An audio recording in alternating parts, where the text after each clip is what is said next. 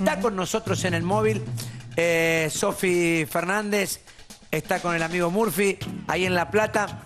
Todo tuyo, felicitaciones. Este aplauso es para vos, Sofía. Bravo. Sofía. Hola Mariano, acá está, mira, nuestra colega de Canal 7 de Mendoza, Sofía, que ya te está escuchando a vos y a todos los chicos de en el piso. Perdí el retorno. ¿Cómo estás, Mariano? Bueno, un placer de saludarlos a todos ustedes en el piso. La verdad que muchas gracias por tus palabras también esa noche. Cuando sentí el nombre, la verdad que me llenó de, de emoción, sobre todo por representar a Mendoza y una causa que es tan importante para la provincia. No tengo retorno. Tranquila que estamos, nosotros te escuchamos perfecto. No sé si vos escuchás, Guille. Guille, ¿escuchás? Ese. Sí, sí, sí, sí, sí, Bueno, ponele perfecto. el tuyo entonces, sacate el tuyo y ponéselo a ella. Muy bien. Ahí Vos está, ponele el tuyo, ahí está el- Mariano. Hola. Estamos en vivo, tranquilo, puede pasar. Siempre pasa, pero Estas puede pasar. cosas esta vez. técnicas que pasan. Exactamente, estamos en vivo, tranquila. Eh, te felicito, Sofi, la verdad. Estamos en el estudio, eh, técnicos, eh, periodistas. Está Ah. sentado Roberto Piazza también con su, con su esposo y estamos Toda su historia. eh, con su historia también, eh, con su historia de la de Roberto. Y estamos todos muy conmovidos por tu valentía y lo que fue también dedicarle el premio a los chicos en un caso que dio vuelta al mundo, ¿no? Exactamente, bueno, es que es que es para ellos. Justamente esta investigación contó con los testigos principales. Hay muchos más, obviamente, pero contar con, con su experiencia, eh, mucho de lo que ellos dijeron, en realidad todo, eh, lo declararon en, en cámara Gesell. Nosotros, por una decisión periodística, decidimos que no se publiquen ciertas cosas por respeto justamente a ellos Claro, y a sus familias, teniendo en cuenta que muchos de sus familiares se enteraban a través de esa nota quienes habían abusado de ellos, lo cual es muy fuerte y sobre todo porque los ven en las audiencias y ponete en el lugar de un papá que, que ve a, a la persona que abusó de su hijo, que tiene la característica de ser hipocúsico, que no les enseñaban la lengua de seña para no comunicarse, les enseñaban la oralidad. Y esta, y esta forma de, de- de la comunicación que ellos utilizaban también llevaba al silenciamiento, porque los chicos cuando querían comunicarse con, con- con sus papás para contarles lo que pasaban, no podían hacerlo. Claro. Porque, porque no podían hablar con Claro. claridad y eso es una limitante física. Realmente yo tuvimos oportunidad de ver el trabajo y te felicitamos profesionalmente. Ahora, ¿qué presiones sufriste? ¿Se pueden contar? Presiones. Sí. Si hubo presiones, digo, por parte uno imagina el poder No, eclesiástico ni- es fuerte, ¿Qué ¿no? te parece?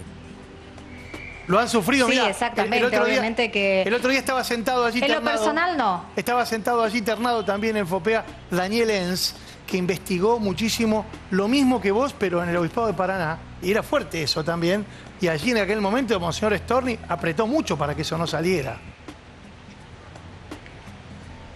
Bien, no, no, no ha sucedido eso en la provincia de Mendoza. Hemos podido hablar inclusive con los representantes de la Iglesia Católica. Tenemos un nuevo arzobispo que, que en lo particular él ha preferido recién ponerse en contacto con, con toda la situación y realidad de la Iglesia mendocina. Por lo tanto, del próbolo casi no opina. Eh, sí, obviamente que se manifiestan en contra de estas situaciones de abuso por parte de la iglesia, No menos. pero hay que ser sinceros y sabemos que la iglesia trabaja en este sentido de una manera de encubrimiento, porque los hechos del caso Próbolo comenzaron en Verona, en Italia, Sí. cerca de la década, en la década del 50 aproximadamente. Luego eran trasladados acá a La Plata, donde nos encontramos en este momento. Y después fueron llevados a Mendoza y los hechos de abuso se conocían. Eh, a lo mejor no habían denuncias en La Plata, pero sí había antecedentes. Es decir, dentro de la Iglesia Católica se sabía que Corradi, por ejemplo, uno de los principales imputados, venía ya con casos de abuso desde Claro, Italia. claro, Entonces venía- la pregunta claro, venía- es, lo mandaba ¿por por qué este pacto de silencio? Bueno, porque es, es una, a ver, es un modus operandi de la iglesia que lo que hacía con los curas que tenían denuncias eran los traslados, Claro. no así las condenas. No, Ahora te sacarle, quiero, no sacarle el clergy y sacarle Claro. el título Te- de, sino que los escondían en otros lados. Sofía, lo que te ¿no? quería Claro. preguntar es, eh, más allá del rol de la iglesia que ya contaste, el rol de la justicia, porque cuando esto llega a la justicia, también conocemos los tiempos, ¿no? De, de- de las causas judiciales. ¿Qué fue pasando con ese proceso? Bueno, fue muy importante porque si bien la primera denuncia se realizó en el 2008 y a partir de allí no pasó nada hasta el 2016. Claro, fíjate, ocho años La justicia ahora está trabajando Ocho años, sí, ocho años pasaron, pero ahora hace dos años que se está trabajando e intensificadamente sobre este caso. Se han hecho muchísimos allanamientos, cinco en particular, donde también intervino Gendarmería con equipos de georreferencia para encontrar material que se encontraba enterrado de acuerdo al que los chicos eh, daban testimonio en cámara GESEL. Lamentablemente no se encontró nada, pero también hay que recordar que pasaron 10 años. No se sabe si realmente eso estaba o no estaba. Los chicos no mienten porque así lo ha dado a conocer los diferentes informes y, pericias que se les ha realizado. Eh, también se los recusó y se los denunció a los intérpretes, una pieza fundamental en esta causa porque los chicos se comunican a través de ellos. Y por otro lado, eh, ya estamos próximos al juicio, porque el próximo 15 de noviembre va a ser la audiencia preliminar, donde la Fiscalía va a presentar las pruebas, donde las partes van a presentar las pruebas y los jueces van a definir ya la fecha del juicio.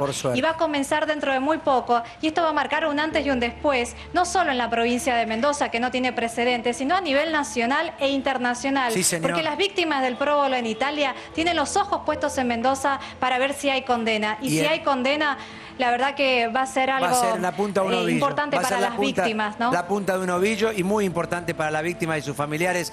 Eh, por eso te valió el premio FOPEA, eh, magistralmente transmitido por, por América.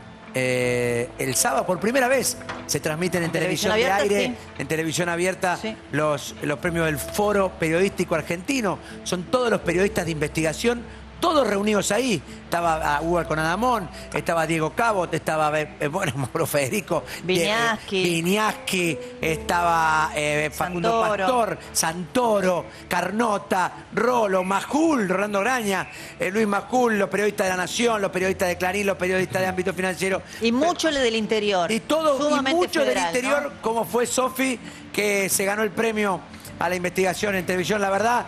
Felicitaciones y este aplauso es para vos. Te felicito. ¿eh? Gracias. Felicitaciones, fue un honor para mí entregarte el premio. Esta fue Sofi Fernández, la ganadora del premio FOPEA